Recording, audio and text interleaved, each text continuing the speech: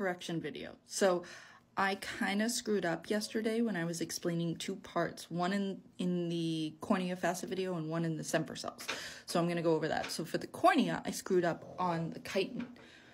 First part, it is chitin A because chitin has three forms and those forms matter. If you want any more summation of that, basically chitin form A has little parts that are end parts in them that appear at the top and the bottom, but not in every single one of the chains. And that's the chitin that makes up the outer cornea. The other bit that I messed up is they are mostly hexagonal, except for the side rim around the edge. Those are pentagonal. So, corrections, I screwed up. All right, now for the Semper cell thing that I left out.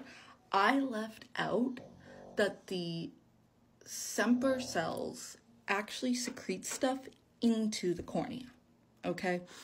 Um, and there's really no I don't understand what they secrete very well. Again, I'm still trying to understand.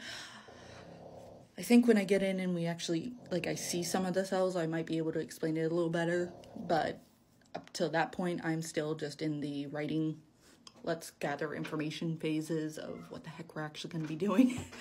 um but they do do some secretion. Okay, so the fluid that is around them and in them, there's some secretion at the top. The other thing is the translucency.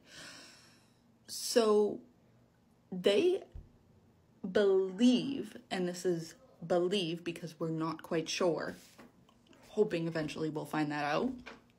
Um, the nucleuses of the Semper cells are up at the top, okay?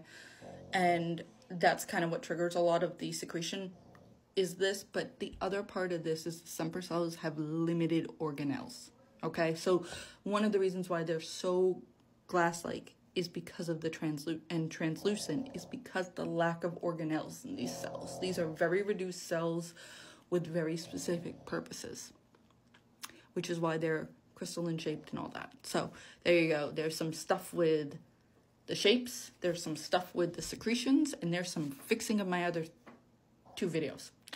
So, on to the rest.